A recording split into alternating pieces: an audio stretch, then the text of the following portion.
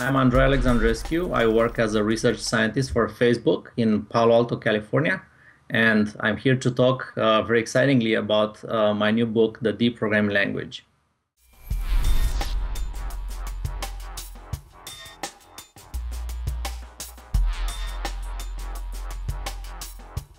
The D programming language is uh, an introduction for uh, the homonym uh, language. Uh, these derive from C++. However, it has uh, gone above and beyond uh, C++'s charter.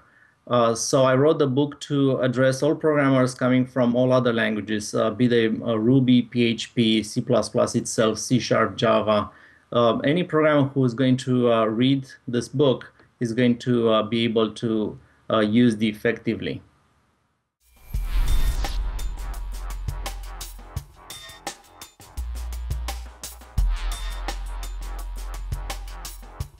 What makes the D programming language book unique?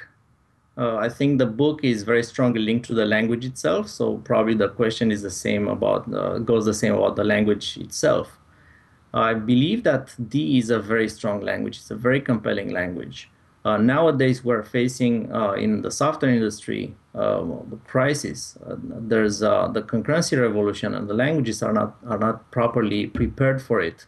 Uh, there's also the uh, the limitation of serial uh, serial frequency speed. So programs are going to uh, need to become efficient again. Taking a vacation is not going to be anymore an option for improving the speed of your program. You'll have to actually work, uh, which is sort of ironic.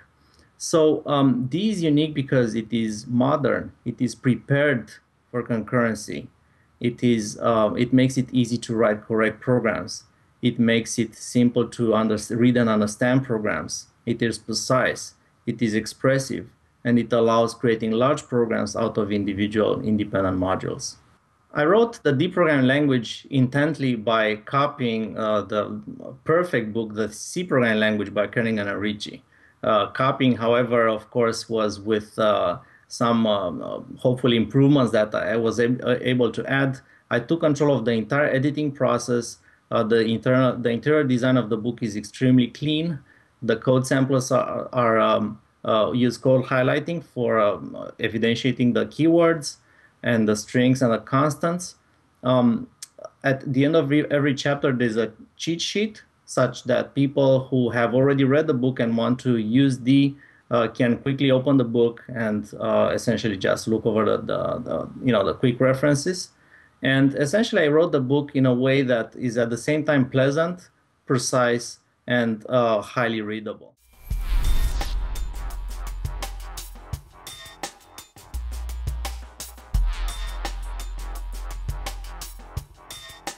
There are three things about the D programming language that uh, make me very excited about it. One is it's extremely precise. Uh, I have done my very best to write the text in a, such a concise manner uh, and at the same time precise, such as to leave a little to um, uh, to hazard, to haphazard, or to uh, to interpretation by by uh, the reader. The second thing that makes me very excited is that the book um, is fun to read. I have had a lot of feedback from from readers who have said it's it's quite nice that I can actually read this book uh, and not leaving from hand, it's not a boring, uh, it's not a, a boring a book. Although the, you know the topic itself could be easily be, uh, made boring.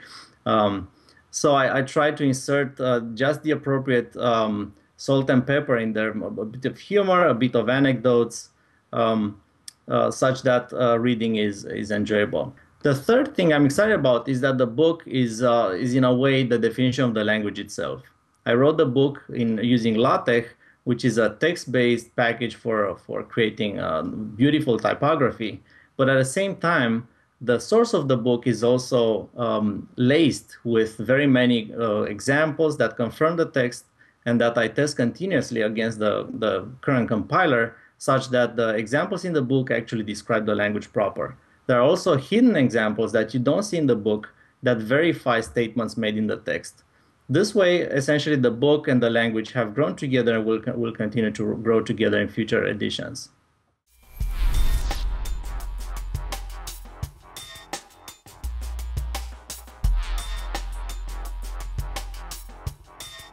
uh, my belief is that the best way to start with uh, the D programming language is to first read the first chapter thoroughly. Just only in the Kernighan and Ritchie Classic, the first chapter is a thorough, uh, is a less thorough but uh, very broad introduction of the language. The language style, the style in which you write programs, uh, everything is explored, but without too much, uh, to, without stopping too much on every detail. The, the next chapters are going to probe in depth every uh, single aspect of the language. So I recommend reading carefully the first chapter and uh, getting a good idea of the overall language, and then reading the other chapters as you find fit or as you see as you are looking for more information. Also, I strongly suggest use the index. Uh, in many books, the index is sort of the, sort of a last-minute uh, thing left to uh, to an index professional who is not a programming professional. However, I built the index myself and I, I wrote it uh, for programs like you. The idea being that you, if, you, if you're looking for a concept such as garbage collection, you're going to actually look uh, at you're going to find it in the index, you're going to find pages that are related to garbage collection, even though they don't mention the actual words. So peruse the index, I think it is very valuable. Um, third, again, don't forget the cheat sheets at the end of each chapter. Uh, we have uh, a cheat sheet for uh, statements, one for expressions, order evaluation. Uh, pretty much uh, every important aspect of the language is, is, going to be covered in a table. So I strongly suggest as you use the language to uh, simply, when you want to remember the syntax, the, quickly the syntax for a specific statement or expression, just use those tables. Um, last but not least, uh, there are a few figures in the book that uh, I, I, believe are informative and are going to help a lot memorizing and, uh, and understanding um, various aspects of the language.